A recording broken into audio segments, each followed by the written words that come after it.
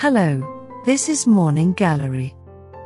The artwork I will introduce today is the work of George Morland. George Morland was born in 1763, London, England.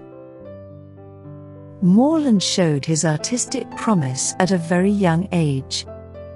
He was the son of Henry Robert Morland, a noted painter and engraver of the time, and received his initial training under his father's tutelage.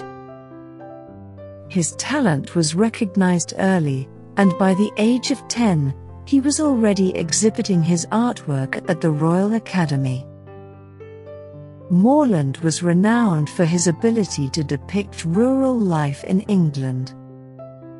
He specialized in genre scenes, meaning he focused on everyday life, drawing inspiration from the world around him. Morland's works portray an empathetic understanding of rural labor and the simple life of the countryside, which were often romanticized by his contemporaries. However, Morland had a more grounded, realistic approach, which won him many admirers and patrons.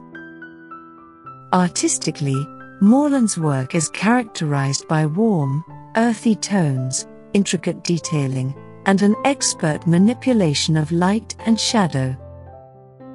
His pieces often showcased a vivid depiction of human emotion, which allowed the viewer to feel connected to the scene, making his work engaging and enduring.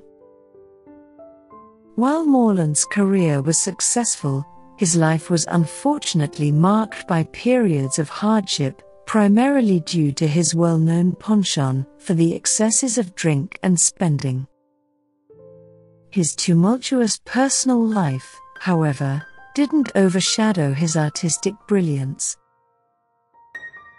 Morland's work continues to be studied and admired today, reflecting the enduring appeal of his unique style and subject matter.